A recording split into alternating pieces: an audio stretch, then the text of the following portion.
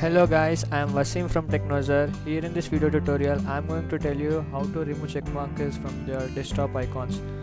This is a checkmark I am talking about. For doing this, move your cursor to the right top of your screen and open search.